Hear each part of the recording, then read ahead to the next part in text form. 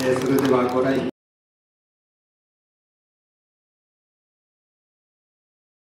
賓のご挨拶第1部最後の方をご紹介します。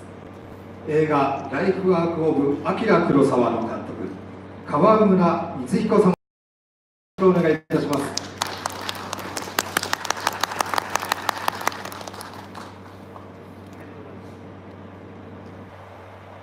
私あの映画監督の川村光彦と申します、えー今日こちらにですねあのお呼びしたいが事情を少しお話ししますとですね、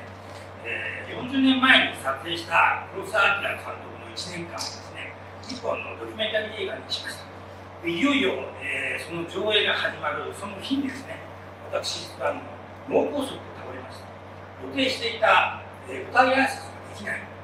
そのお知らせをですね、えー高谷先生にですね、えーお知らせしたところですね、それはもう大変だと、任しとけと。で、えー自分の仲間と一緒にですね、こちらにいる千鶴さんと、ゴートさんをですね、連れてですね、劇場に来てくださいました。で、映画をですね、最後までご覧になっていただいた上にですね、黒沢監督っていうのは怒鳴ってるだけの恐ろしい監督と聞いていたけれども、実際は違ったなと。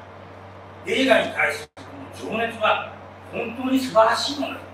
この、えー、黒サイズのを持って私たちは歌を歌っていたいと言っていただきましてですね、えー上映の後舞台に上がってですね黒沢監督の「さぐ」っていうですね歌を歌っていただいたんですね。で私そのお三人三種の皆様がですね今回私が大好きでそして黒沢監督も生きてらっしゃったら野球の大ファンだった黒沢監督の大谷選手絶対にですね応援したと思うんですその、えー、黒沢魂を持ってですね、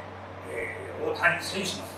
えー応援歌を変わると聞いたものですからもうお礼がてらですねあの駆けつけてまいました、えー本当に黒沢監督の姿を見て感動した。そのエネルギーであの大谷選手を元気にするこんな素敵なことはないのでございます。ということで、えー本日おめでとうございますというですね、えー言葉と一緒にですね、えー昨年お渡ししたですね、ライフワークを取り上げました。こちらですね、特別ブルーレイ持ってまいりましたので、あの旅先持っていただいてですね、どういたしたので、私の挨拶を返させていただきます。ありがとうございます。